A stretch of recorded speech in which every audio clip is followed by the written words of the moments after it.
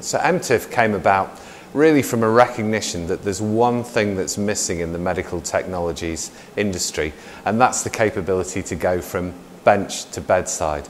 And by that I mean taking some of the very early research and being able to translate that into products that benefit patients.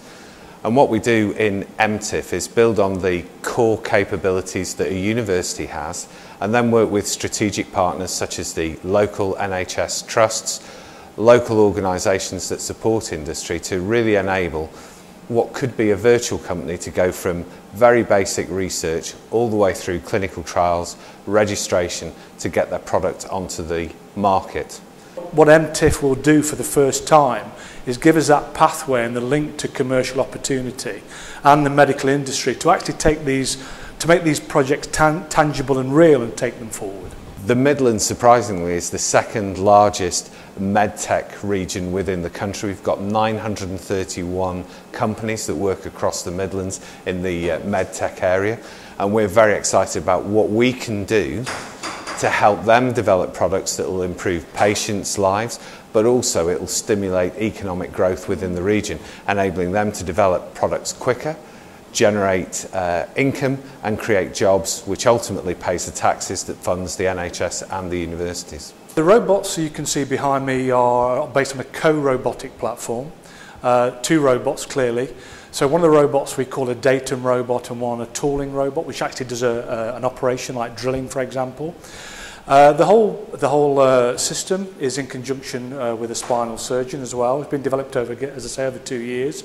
And the idea is, is to uh, try and reduce any inaccuracies in, in terms of spinal correction procedures.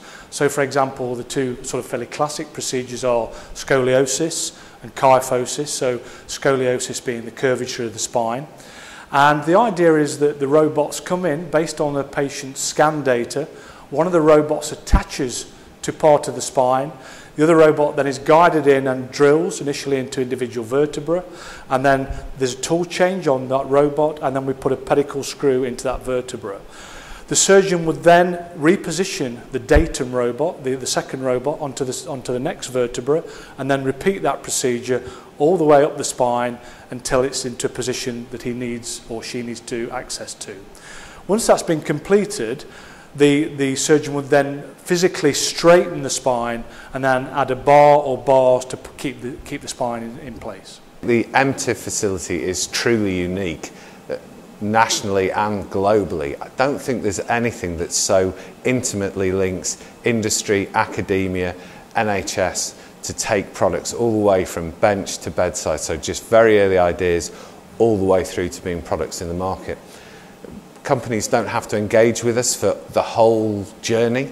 They can just take the bits that they need, and we're very happy to act as a sort of hub and spoke model. So people come to MTIF and we can support them directly or signpost them to capabilities within our partners, all of which is designed to enable them to get a product to the market more efficiently and more effectively than they ever could have done on their own. We're working with industry on a large number of projects, um, primarily The projects are um, sort of initiated by talking to surgeons and clinicians. We're very fortunate that we have quite a wide net network of clinical professionals that we work with. So that at the moment varies everything from controlling patient sedation um, to surgical robotics um, to capturing stem cells. There's a real, real wide variety of projects.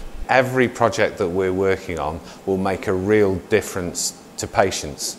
So the capabilities that, that you've seen just in our robotics area show the real impact that the research work we're doing will have for patients in the future. And we've got other capabilities that do that as well. So we're looking at supporting stem cell and gene therapy programs. We're looking at biomaterials, looking at how we can use uh, implants into patients' bodies to modify physiological response to improve outcomes for patients. And we're also looking at some very exciting areas like smart textiles. So printing uh, ECG monitors onto clothing so that we can detect atrial fibrillation in patients. But more than that, we can monitor their whole physiological response, temperature, acceleration, deceleration, so we can have really important healthcare applications that we can integrate into a system to improve outcomes for patients and hopefully also drive down the cost of care for the NHS.